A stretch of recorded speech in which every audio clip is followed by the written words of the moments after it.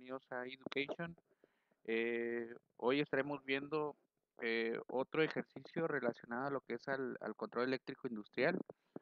Eh, pues meramente sean bienvenidos. el día de hoy, pues, como les comento, vamos a ver lo que es el arranque paro a la conexión mediante un temporizador.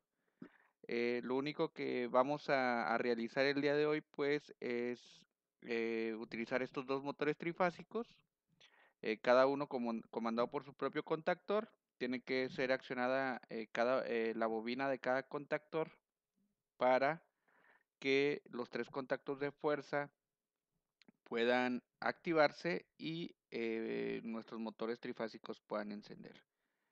en la potencia pues vamos a agregar nuestro disyuntor trifásico con nuestros eh, dos contactores KM1 y KM2.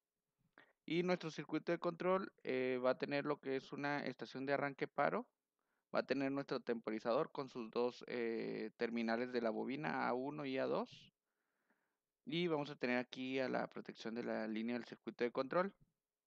realmente en el video anterior utilizamos un relevador para poder energizar a este temporizador pero ahora eh, vamos a utilizar dos motores y la diferencia es que al momento de presionar Start, entonces eh, puedo utilizar, eh, aquí la condición es que nuestro, al presionar Start, encienda nuestro primer motor, o sea, el temporizador no va a hacer ningún efecto, solamente va a entrar la, energía.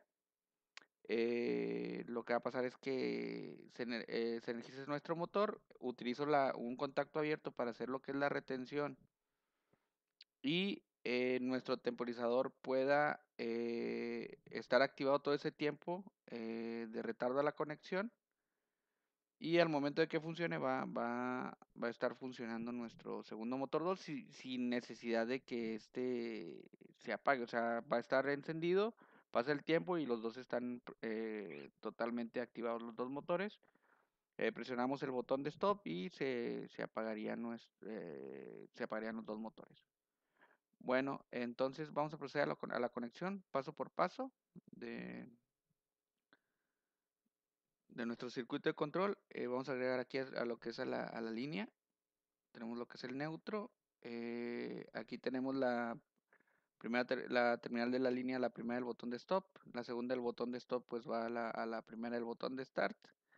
Eh, la segunda del botón de start, la segunda terminal pues iría a la 1 del primer contactor KM1. La 2 pues iría su protección térmica al cerrado y el otro cerrado iría lo que es al neutro. Eh, vamos a hacer lo que es la, retención, como les comentaba. Eh, esta retención va a servir para que el timer se quede eh, activado, se quede memorizado. Igual nuestro KM se va a quedar memorizado porque al soltar se va a quedar encendido ese motor. Entonces aquí está la retención. Esa es la terminal que va entre el botón de Start y Stop. Y la otra terminal iría conectada a la, a la 1 del primer contactor, la otra terminal del, contacto abierto de, KM1. Y terminamos lo que es la, ya, eh, ya, terminamos lo que es esta línea. Ah, perdón, falta aquí el timer. Eh, A1 iría a, pues a la misma A1, ok, del, del, KM1 y el A2 pues iría al neutro. Eh, vamos a empezar ya con esta línea bien. la línea iría al contacto abierto de nuestro temporizador. Ok, ah, en este caso es la 15. No voy a utilizar la, bifurcación del, timer, del temporizador. Entonces solamente voy a utilizar la 15 y la número 18, que es nuestro contacto abierto. Esta es la terminal 18 y esta es la número 16. Entonces vamos a conectar lo que es la 18 a la 1 de nuestro segundo contactor, que es KM2. Eh, A1, pues acuérdense que son las terminales de la, es una de las terminales de la bobina. A2 va a la, a la, es la, a la protección de térmica, contacto normalmente cerrado del reloj de sobrecarga y la otra iría al neutro. Ya tenemos nuestro circuito eh, terminado. Vamos a ver el funcionamiento. Eh, arrancamos nuestro disyuntor. Aquí estoy omitiendo las, las, lámparas, se pueden agregar, ok. Aquí en, en paralelos con el KM1 y aquí con el KM2 y hacer juegos con los contactos cerrados para utilizar lo que son las lámparas rojas. En este caso, pues las, las omití, ¿ok? Entonces, eh, vamos a proceder. como les comenté, al presionar el botón de Start, se energiza mi contactor, se retiene con el mismo contacto abierto y nuestro timer también está reteniendo la energía y arranca nuestro segundo motor trifásico pasados nuestros 10 segundos. Ok, podemos observar ahí van a cumplirse el tiempo de programado, 10 segundos fue lo que yo dispuse, entonces esos 10 segundos va a arrancar nuestro nuestro se activa la bobina de nuestro segundo contactor y arranca nuestro motor trifásico.